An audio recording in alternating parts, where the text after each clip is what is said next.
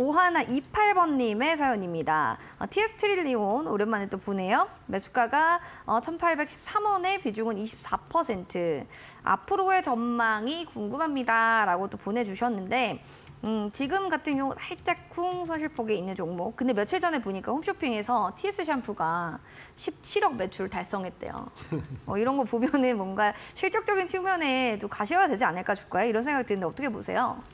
최근에 이슈는 이제 그 어차피 적자 부분 때문에 음. 회사에서 자산 재평가를 하는 것 같습니다.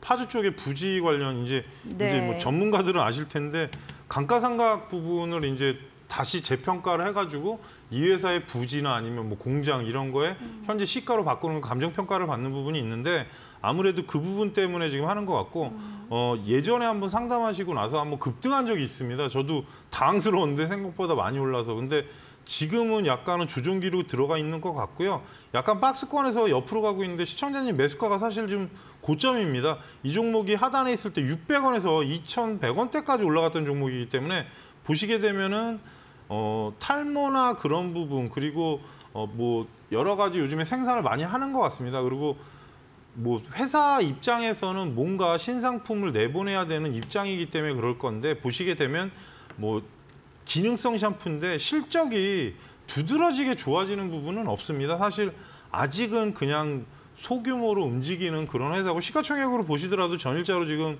1,400억이니까 상당히 고평가입니다. 그래서 세력주로 좀 보셔야 될 것 같고요. 최근에 이제 탈모나 그런 부분에 관련주가 바이오니아나 이제 몇 종목들이 있는데 그런 종목이 움직일 때 따라 움직일 수도 있지만 당장은 지금 리스크 관리 좀 하셔야 될 것 같고요. 위로 만약에 현재 구간에서 1,600원대 초반권 돌파하게 되면 시청자님 매수가 바로 밑이 저항대가 될 것 같습니다. 지금 요 구간인데 그래서 항상 세력주 하실 때는 제가 몇 번 말씀드리지만 좀 많이 오른 거는 좀 눌렀을 때나 이평선 부분을 보시고 하셔야지 단타 치다가 정리가 안 돼 버리면 만약에 이 가격대에서 보시게 되면 더 올라가 봐야 2,000원입니다. 그래서 월봉으로 보시더라도 고가에 한번 갔다 오고 나서 조정이 급하게 나온 거기 때문에 만일에 9월 달에 양봉이 쓰게 되면 아까 말씀드린 최대 목표가는 1,900원에서 2,000원 사이긴 한데 제가 말씀드리지만 정확할 수가 없습니다. 소형주기 때문에. 그리고 하단의 현재 위치에서는 직전 저점 자리인 1,400원이 이탈하게 1,390원이 이탈하게 되면